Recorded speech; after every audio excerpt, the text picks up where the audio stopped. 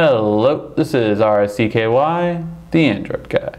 Hey guys, so today I'm going to be showing you a quick video and that is how to uninstall an app on the Galaxy Tab 3 7.0. Alright, so this is something that Samsung came up with and this is true on other Samsung devices as well. It's just a quick way to uninstall your apps.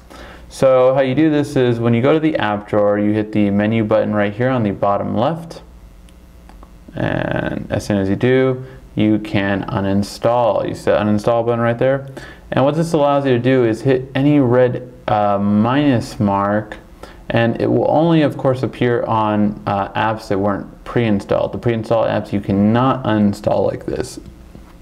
So you hit the uh, little minus bar right here and then it's going to tell you are you sure you want to uh, this will be uninstalled and you hit yes and there you go. It's just that easy to uninstall an app. Alright, hopefully you found this helpful. If you did, please give a like and thumbs up at the bottom. And thank you for watching. This has been Ricky, the Android Guy.